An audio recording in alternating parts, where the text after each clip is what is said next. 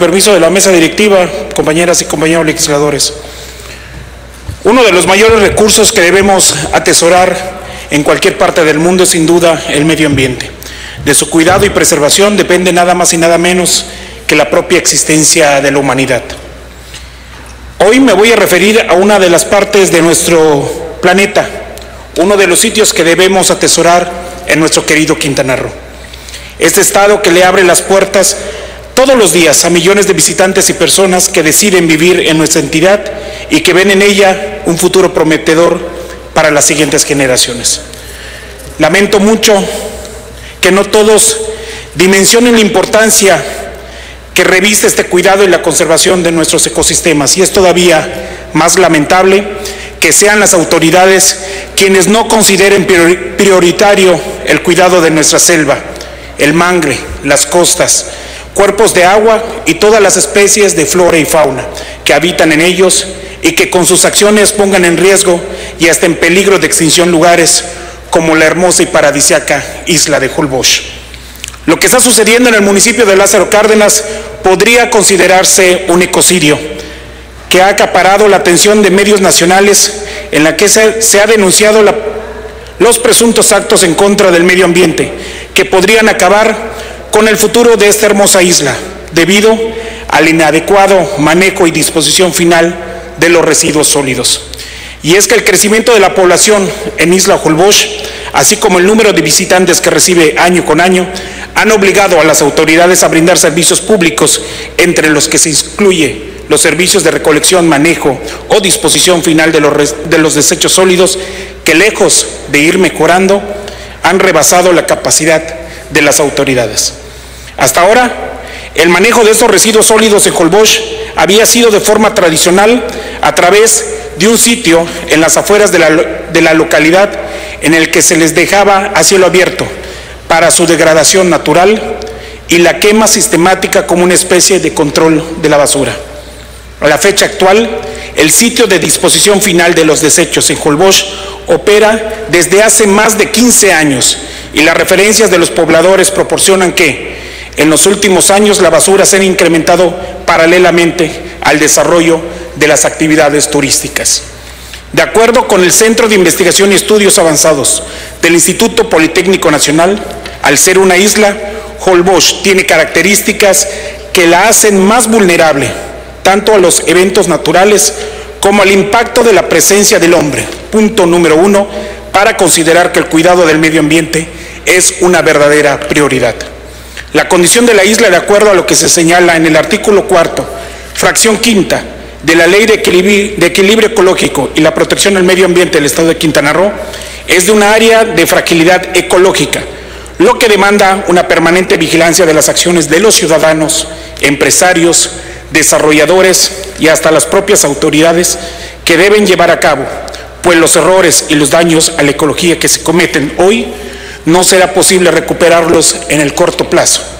y quienes pagarán estas facturas serán las futuras generaciones. El pasado mes de diciembre del 2020, el alcalde del municipio de Lázaro Cárdenas anunció en medios de comunicación la supuesta erradicación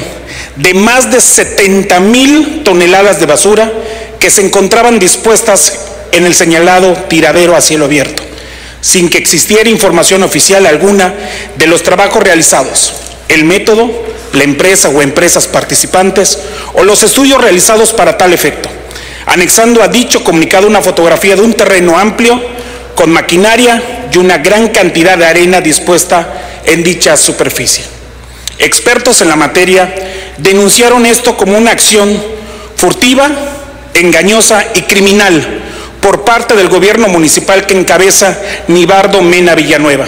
pues la acción que se presume en los medios de comunicación no tiene sustento ecológico alguno, tampoco operativo, ni mucho menos científico, lo que es una evidencia en la comisión de un claro delito contra el medio ambiente, es decir, un ecocidio.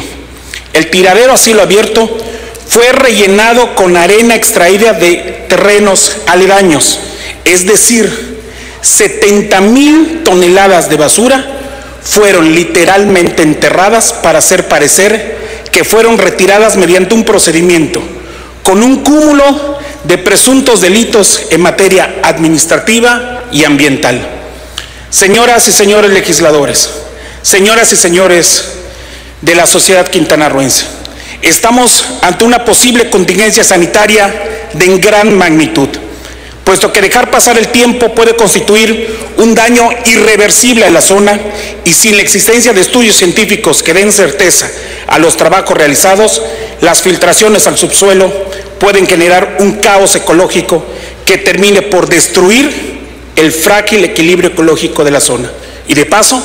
acabar con una de las áreas más importantes para el avistamiento de aves de especie en peligro de extinción. Por tales motivos,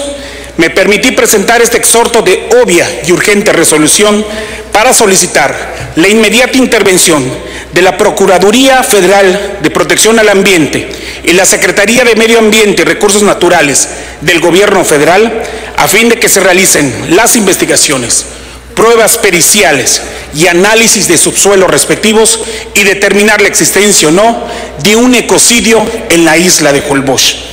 la participación de dichas dependencias gubernamentales resulta urgente, pues existen otras denuncias por la devastación de mangle por parte de particulares sin que hasta el momento las autoridades hayan hecho algo. Pensemos en Holbox, pensemos en el desastre ecológico que representa enterrar 70 mil toneladas de basura en una isla de apenas 40 kilómetros de largo por dos de ancho. Pensemos en la contaminación del hábitat del tiburón ballena, de la flora y fauna de Holbox. Hago un llamado a todas las agrupaciones, asociaciones ecológicas del Estado, del país y también las internacionales a darle seguimiento a este caso. Es urgente la intervención de las autoridades ecológicas. Holbox no puede esperar a que desde esta legislatura se intente frenar este llamado solo por cuestiones políticas. No seamos cómplices de esta omisión. Muchas gracias.